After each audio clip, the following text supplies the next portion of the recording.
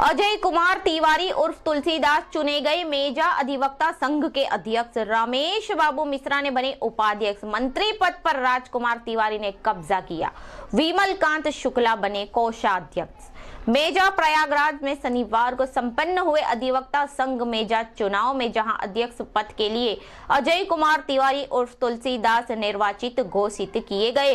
वहीं उपाध्यक्ष पद के लिए रमेश बाबू, मिश्रा मंत्री पद के लिए राजकुमार तिवारी तथा कोषाध्यक्ष पद के लिए विमल कांत शुक्ला बजाई गई सहायक पीठासीन अधिकारी श्री ओंकार नाथ मिश्रा ने बताया कि मेजा बार के कुल 1402 मतों में पड़े मतों की संख्या नौ थी, जिसमें 30 मत अवैध पाए गए। अध्यक्ष पद की तीन प्रत्याशियों में अजय कुमार तिवारी उर्फ़ तुलसीदास को चार मत, देवानंद सिंह को 243 मत तथा महेंद्र कुमार दुबे को 231 मत मिले।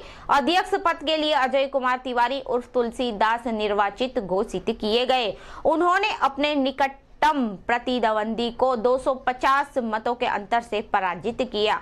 उपाध्यक्ष पद के तीन उम्मीदवारों में रमेश बाबू मिश्रा चार सौ चौवालीस मत, शिवकांत पांडे को 310 मत तथा राजेश गुप्ता को एक सौ इक्यासी मत मिले।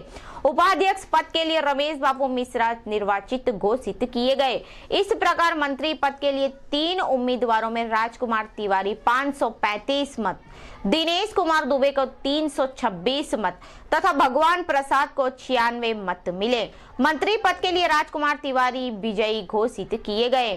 कोषाध्यक्ष पद के तीन उम्मीदवारों में विमल कांत शुक्ला को 423 मत, अमित कुमार मिश्रा को दो सौ छियासठ मत तथा रामाकांत मिश्रा को दो सौ इकसठ मत मिले। कोषाध्यक्ष पद के लिए विमल कांत शुक्ला निर्वाचित घोषित किए गए। कार्यकारिणी सदस्य पद की मतगणना सोमवार 19 नवंबर को संपन्न कराई जाएगी।